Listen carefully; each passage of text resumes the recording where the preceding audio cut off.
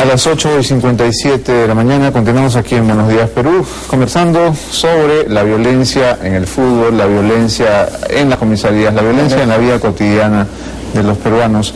Y eh, también hay un tema que tiene que ver con esta violencia, que es el tema de los niños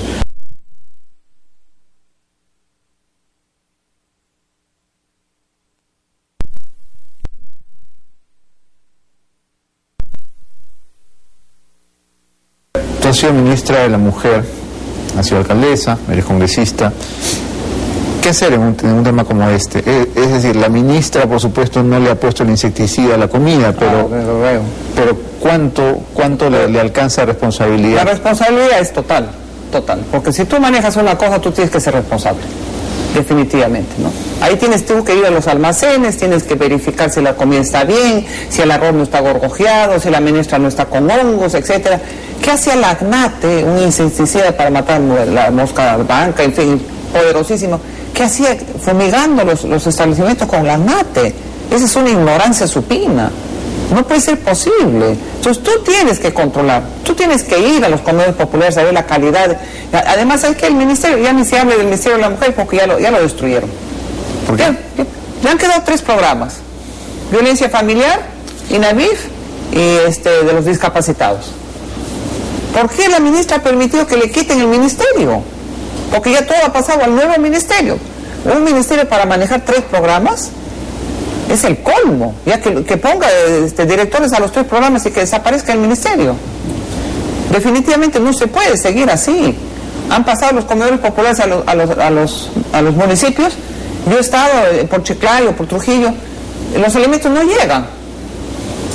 ¿Por qué? Porque el municipio no los manda. ¿Cómo vas a pasar guaguaguasis a los municipios?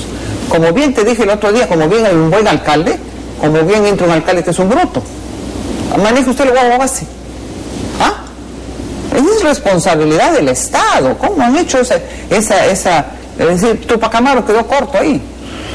Lo han destrozado el Ministerio de la Mujer. ¿Estás de acuerdo con la iniciativa de interpelar a la ministra?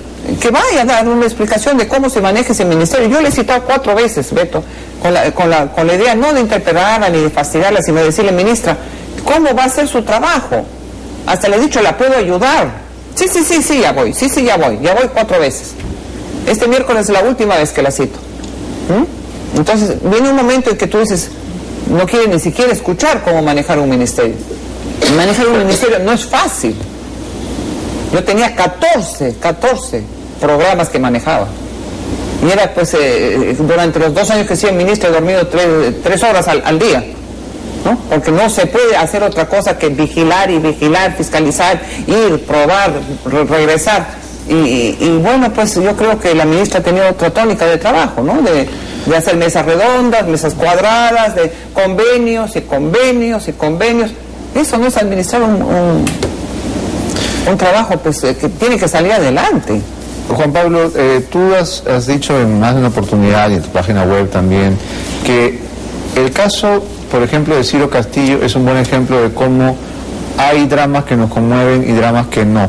Hay desaparecidos que llenan primeras planas durante meses y hay otros miles que no. Y quizás en este tema de los niños de Cajamarca está pasando lo mismo. Si fueran niños del Colegio Newton, seguramente nos dolerían más, ¿no es verdad? Mira, eh, eh, sucede con las barras, sucede con los desaparecidos, con los niños envenenados y con todo el mundo. Eso no pasa en San Isidro Miraflores. O sea, las barras tampoco están en San Isidro Miraflores. Son los conos, es Cajamarca, es el Colca, es Ayacucho, es lo que fuera. Ciertamente hemos llegado a un punto, creo yo, de indolencia por un lado y también de eh, banalización de la, de, la, de la violencia, ¿no? como alguien mucho más famoso lo dijo en algún momento. Quiero decir, estamos viviendo ahora como una cosa rutinaria, tranquila, porque no nos toca a nosotros. Hay que ser el otro, siempre el otro, está afuera, es lejos, no me pasa a mi entorno. Son tres niños solamente, sido más. El- Exactamente, o sea, o un error humano, lo que fuera, bueno, qué pena, lo siento. Y estamos avanzando a eso de una manera inexorable. Y creo yo, muy personalmente, con el tema de las barras nuevamente, nadie dijo que al día siguiente de matar a este muchacho, tirarlo por el palco, la barra de Alianza Lima se agarró a balazos y mataron a, a una persona e hirieron a un menor. básicamente entre ellos. Pero eso no hizo titulares de ningún tipo. O sea, por ejemplo, ¿cuál es la diferencia entre ese señor que se escapó de Estados Unidos el mismo día, básicamente, y cualquier pensar, otro, a pensar, o cualquier otro delincuente que se escapará tal vez a, pues no sé, pues a Oxapampa, en vez de irse básicamente a Miami, o a donde diablo sea. Lo que quiero decir es, ¿de qué estamos hablando? Es básicamente lo mismo. Pero pensamos que si le ocurre al otro, o un poco más allá, pues... No te interesa. Claro, conmigo no es, ¿no? Y si vamos a, a- a ejemplos un poco más antiguos, Rocío, con el terrorismo pasaba igual. Los peruanos vivimos eh, inmersos en, en la tragedia del terrorismo, pero solo salimos a manifestarnos cuando ocurrió Tarata. Así es. Cuando ocurrió Tarata recién sentimos que nos estaban atacando a nosotros, entre comillas. Los limeños, ¿ah? Los limeños, claro. Los limeños, los peruanos, dijiste. Eh, bueno, en, en efecto, ¿no? A mí me parece lo de los niños en Cajamarca algo terrible y eso es lo que está mostrando una vez más. Y a mí me, me- me toca especialmente porque mi familia es cajamarquina y, y- y me duele la muerte de estos tres niños y sobre todo este, esta orfandad de los padres que se quedan sin sus niñitos y, y además murieron porque no tenían el servicio de salud cerca, o sea, hubieran podido sobrevivir como sobrevivieron nosotros. Lamentablemente murieron en el camino. Entonces, lo, lo que está mostrándonos esta situación y este ejemplo es precisamente que un departamento que se supone que produce tanto oro y cano minero, ¿cómo es posible que no exactamente, que, que- que los servicios de salud estén tan alejados de los pueblos que lo requieren? ¿no? Entonces, bueno, ahí habría que ponernos a pensar de qué manera pues este este gobierno tiene ese reto, ¿no? Es el tema de la inclusión que se menciona tanto, pero que es un tema que en el Perú ha sido terrible. O sea, tú hace un rato dijiste, parece que hubiera una justicia para los pobres y una justicia para los ricos. Es cierto, es cierto. ¿Por qué no fue un helicóptero? O sea, hay, hay, hay otro tipo de posibilidades, ¿no? Sí. Entonces, este, definitivamente esto nos tiene que, que- que conmover y más allá o eh, de digamos de, de la interpelación o no de la ministra o sea sí hay que tener gestos no y un gesto importante hubiera sido precisamente ir ya. no o sea bueno finalmente fue jefe del PROMA y- del PRONA y después lo votaron pero bueno de- definitivamente lo que sí se requiere en estos espacios es que esté el Estado el Estado tiene que estar presente. O sea, siempre hay diferentes quejas de parte de eh, algunos analistas, periodistas, de que hay mucho Estado en Lima. Bueno, pues es que el Estado tiene que estar en los lugares donde no se encuentra. Mira, el viernes fueron a hablar conmigo dos indígenas Kandoshi Apus, en, eh, que son una zona a cuatro días de navegación fluvial de Yurimaguas, y esa zona es una zona endémica de hepatitis B. No hay nada. Fueron, o sea, lo que querían era reclamar una, eh, digamos, eh, servicio de salud, por lo menos, porque es, es muy caro el tratamiento de la hepatitis B. ¿Y sabes qué recibieron de respuesta? Lo cual me parece lamentable y debería investigarse. Le dijeron, bueno, pero ustedes son cuatro los que han muerto nomás, ¿no? Ustedes no van a morir de hepatitis B, quizás mueren de desnutrición. Esa fue la respuesta. Vamos a darle paso, vamos a darle paso a el padre de Gerson Falla, que está en comunicación telefónica con nosotros. Buenos días, señor Falla. Eh, ¿qué, qué- qué quisiera comentar luego de la- las, las últimas noticias respecto al, al caso de, de su hijo, señor Falla? Bueno, muy indignado porque se ha descubierto, gracias al periodismo, que mi hijo fue torturado físicamente y psicológicamente. Pero lo que me causa indignación es que sus agresores siguen en libertad y unos, parte de ellos, siguen laborando en la comisaría y otros han salido a disposición y empezados administrativamente. Y es ilógico que sigan trabajando con un arma, con un uniforme. Y esto no queda acá. Como dice, no solamente ellos fueron los que han actuado, han habido más personas que están fuera de, esta investigación. Así es, señor Ortiz. También eh, eh, entiendo usted ha hecho unas declaraciones muy severas respecto al general Sanguinetti, que aquí en este programa nos dijo a todos que su hijo estaba bajo los efectos de las drogas, como si esto, aparte de ser mentira, hu- hubiera podido ser justificación al horror que su hijo tuvo que pasar. el señor Sanguinetti se dejó llevar con un documento que le hice un análisis a mi hijo, donde no había ni fiscal ni abogado de parte de mi hijo, se dejó llevar e informó a la opinión pública que mi hijo era un drogadicto y por eso lo mataron. O sea, acá, acá en el Perú, ¿cuánta gente, cuántos muchachos han probado droga? Entonces, todos ellos estarían muertos cuando llegan a la comisaría.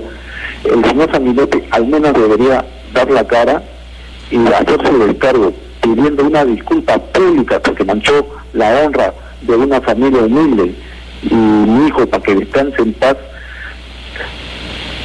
Disculpe, me gustaría que todos los involucrados, porque para mí, así hayan golpeado de una patada o cinco patadas, también fueron torturadores.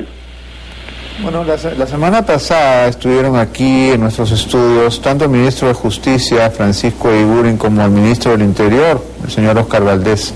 Eh, ambos eh, hicieron una, una manifestación de decisión de combatir este tipo de casos y sin embargo lo que usted nos cuenta contradice todo elemental criterio de justicia. Los policías solo han sido retirados de la institución, ni uno solo de ellos está preso. Así, señor, ninguno está preso, están libres, están laborando, siguen ganando su sueldo, mientras que yo acá estoy destrozado en compañía de mi señora que estamos viendo el canal del noticiero y el señor Sanguinetti ve muy bien de lo normal y los otros y los otros policías es normal en la calle. Para mí es indignante que sigan libres. Por lo tanto, le pido al ministro de Justicia que tome cartas en el asunto y ordene la inmediata encarcelación de estos efectivos. Pedido a que nos sumamos todos, porque por cierto, no solamente es un caso que clama al cielo por justicia, sino que también es un peligro que estos asesinos continúen eh, usando un arma ¿no es cierto?, que el Estado les da para protegernos y que en cualquier momento la van a usar eh, contra la población indefensa. Gracias, señor Falla, por haber eh, conversado con nosotros esta mañana. Gracias, señor Bien, la verdad es que eh, si, si, bien, si bien digamos, las autoridades intentan, como en el caso del ministro del Interior, eh, que, en, el, tema puntual de Walter Ollarse ha dispuesto que, se sancione lo más rápido y se capture a, los culpables, pues es un caso, ¿no? Eh, pero quedan muchos otros más eh, en, una impunidad francamente indignante. Terrible. Y, yo todo, defiendo mucho a la Policía Nacional, porque en verdad hay excelentes policías, con, una, con, unas pagas, con, un, con un sueldo y un pago totalmente miserable. Pero cuando hay que decir que el policía es malo, no solamente hay que decir que es malo, hay que erradicarlo de la policía definitivamente y juzgarlo. Como cualquiera. Como cualquier hijo vecino, porque es un, es un ser humano que es un delincuente con uniforme. Y desgraciadamente esos anormales hacen tanto daño a sus compañeros buenos que toda la vida la policía va a estar marginada como diciendo la policía no sirve. No es así. Desgraciadamente yo, yo tengo contacto con muchísimos policías buenos que, que sobreviven con el sueldo que tienen pero no se justifica en absoluto esta brutalidad. Definitivamente, como no se justifica la muerte de este muchacho Yarse, como no se, no se justifica ninguna muerte por violencia. Ahora, para, para pasar a otro lado, yo te, yo te pregunto y que, me digas, ¿por qué se regalan entradas como si fuera pues este papelitos? A, a uno que acaba de romper un, un micro y que acaba de agarrar a patadas tiene su entrada para entrar al fútbol. Basta ya de esa tontería de los clubes de, regalar entradas a cuanto delincuente hay. Que se seleccionen las barras que tienen ellos, que son barras bien establecidas, y que esas personas que han tenido problemas con la policía, aunque sea una vez, queden descalificados de por vida entrar a un estadio. ¿Cómo terminaron los hooligans en Inglaterra? ¿Cómo fue? Entonces, ¿por qué no se puede hacer igual acá? ¿Por qué no se puede implementar todo eso? Sí, ya se nos estos, no se vuelve a entrar al estadio, inteligencia dentro del estadio, etcétera, etcétera. Y se va a componer las cosas. No es cuestión de cerrar tampoco y dejar al, pueblo sin fútbol. Pero bien hecho que se cierre, porque ¿cómo funciona un estadio sin licencia? Diez años tiene ese estadio sin licencia. ¿Qué cosa es? Es un sitio totalmente inadecuado porque solamente tiene una entrada y no tiene salida. El, el Ministerio, el Ministerio del Interior ha anunciado que los partidos se suspenderán eh, hasta que no se cumpla con un protocolo muy estricto que pasa por prueba de alcoholemia, eh, examen minucioso de, de- de armas, eh, examen de re- requisitorias, es decir, eh, antecedentes policiales. ¿tú- ¿Tú crees, Juan Pablo, que esto será suficiente para Nada, calmar a estas hordas? Es que hay un, la conferencia ha, ha dado, justamente puesto el dedo en la llaga en un tema. Es que hay una relación mafiosa mucho más compleja entre las barras y los clubes. Las entradas no se dan solamente por gusto. Quiero decir, le- la pregunta que debe hacerse es, ¿para qué le sirve a un club tener una barra brava como esa? Para controlar elecciones, básicamente, como lo que pasó en Alianza Lima, una fuerza de choque va contra la otra, un balazo, el candidato salió y gana el mío. Entonces, básicamente, acá hay un tema de plata. No solamente los millones que deben al fisco, sino básicamente los millones que están ganando y que no están reportando al fisco. O sea, hay un tema básicamente importante a ver también ahí. Entonces, ahí tiene el tema. Club barra, me parece muy bien que hayan controles, pero hay una realidad eh, mafiosa, digamos, en este, en ese tema. Y el otro tema, desgraciadamente, es también la policía. Porque la policía también juega un papel, y hablo de los policías justamente como esos que hemos visto aquí, no todos los policías, pero sí juegan también a ese tipo de tráficos de temas. ¿Cómo entra el alcohol? ¿Cómo entran las drogas? Es como los penales, que dicen, no, no, no, no entran volando. Cinco botellas de whisky en el palco ese, cinco. ¿Cómo es posible que la bandera que la policía incauta a un grupo termina en el, en el otro grupo? O sea, eso, eso, eso es voz populi. Entonces, quiere decir, esto es mucho más complejo. Ya, yo no creo que el tema solamente empadronar, ciertamente hay que empadronar, meter requisitoriados, lo que fuera, pero hay un tema... ¿Cómo se puede empadronar si Quince mil se han demorado una semana en saber cómo se llamaba el bendito Cholo Payet? Nadie, nadie podía encontrar su identidad. ¿Cómo, pero- vas, a- cómo vas a pero- empadronar a gente que no tiene Pero nombre? perdón que te diga, o sea, quiero decir, podemos ir todavía un paso más atrás. Quiero decir, fíjate, mira lo patético de todo esto, que es, es desgraciadamente patético. Estamos trabajando en un caso que es blanco y negro. A este muchacho lo han lanzado por ahí y todo lo demás. A nivel de criminalística, ¿no es cierto? La escena, esta escena, podría haber sido manejada y podría encontrar los indicios en, en nada de tiempo. Pero no, para variar, se mete todo el mundo, contaminan todo, no tenemos un sistema para trabajar con huellas digitales como debería haber, y Rosa María Palacios lo dijo hace, unos días en, la en la radio, en efecto, los americanos ofrecieron aquí, eso no me consta, pero el sistema ah, IAFIS, que es básicamente un sistema para comparar huellas digitales. El Perú es uno, de los pocos países que todo el mundo, registrado o no, tiene huellas digitales. En tu DNI o lo que fuera, todo el mundo. Entonces era muy fácil, básicamente, pero es una comparación automática. Y ahí no es que me fui a Miami o que no, mi mamá me dijo, tu huella está ahí, tienes mancha de sangre acá, lo que sea, esto es. Aquí estamos dependiendo que si tiene la cámara, que si alguien lo vio, que por favor quien lo filmó de abajo sea tan buena gente que te dé el asunto. Eso es increíble. y ese es un pedido que ha hecho el fiscal de la Nación, ¿no? A que la persona que tenga en su teléfono, en su BlackBerry o en su iPhone el video que lo entregue. Eh, es decir, este pedido ni siquiera debería ser necesario, No, Pablo. y además que el tema principal, va yendo nuevamente el tema de falla y volviendo a esto, lo que requerimos aquí básicamente es una reforma de la policía para que la policía buena se quede y la mala se vaya, ese es un punto, es. ¿no? Pero el otro tema es tener un sistema estricto de recolecta de indicios y pruebas que puedan por sí mismos ser usados como piezas de convicción, que es lo que no hay acá. ¿Cómo es posible caso de falla? Le saquen una muestra que demuestra que está drogado y después la misma muestra después de que no está drogado. Y sale un general a decir que sí. Entonces quiere decir que no hay un sistema de calidad de nada. Es decir, tú metes la mano, le echas no sé qué acá, lo metes, le, le pones una etiqueta, lo pones ahí, es tu prueba. O sea, no hay... A la criolla, pues. A la criolla. Como ¿Viste? todo, como todo en el Sí, Perú. pero No tiene había que, una ambulancia en el, en el estadio. tiene que acabar. No había una ambulancia. ¿Cómo va a ser posible que con ta cantidad de gente no exista un servicio médico inmediatamente y una ambulancia? ¿Dónde está la ambulancia? Dice que si no tienen para pagar los impuestos, ¿cómo van a tener ambulancia? Miren esas barbaridades que contestan. Ahora, el, semanario de, de Hitler ha titulado justamente el fútbol como mafia, ¿no es cierto? Y nosotros hemos tenido aquí algunos dirigentes que, la verdad, los dirigentes ni, ni de la Alianza ni de Universitario son capaces de explicar cuál es exactamente su relación con la barra, ¿no? Es decir, no, e- ellos mismos ni siquiera delatan, entre comillas, los nombres de los dirigentes de las barras, eh, no nos explican si los tienen o no como seguridad, ¿no? Como chalecos alrededor, que todo el mundo sabe que es cierto, ¿Para qué les dan las entradas? ¿Para qué los Eso. empoderan Eso. al extremo de que ellos pueden ir a pedir donaciones cada vez que la barra tiene que viajar a provincias? Entonces, ¿en qué se convierten en extorsionadores? Para eso se tienen plata. ¿no? Extorsionadores que acaban, que acaban como, como se ha visto en el caso del Cholo Payet, integrando las mafias de construcción civil, dedicados ya al chantaje, a la extorsión profesional. ¿Qué es, qué eso qué es deporte, por favor? ¿Qué tiene que ver eso con el fútbol? No, no me explico. Yo, yo, yo he jugado toda mi vida y nunca he visto este, barras bravas en el básquet. Pero, pero Nunca. No he visto barras bravas en el tenis. Tampoco. ¿Por qué se caracteriza el fútbol? Porque están mal dirigidos y están mal, mal, mal empadronados. Como, como te digo, ¿no? Vuelves a cometer un error, al día siguiente estás entrando dinero al estadio. Vuelves a cometer al día siguiente. Está- y le están dando la entrada al mismo que cometió el error. Entonces, ¿cuándo se va a corregir eso? Definitivamente, pues, si no tenemos una, una situación de mano dura para esto, pues hombre, que se cierren los estadios.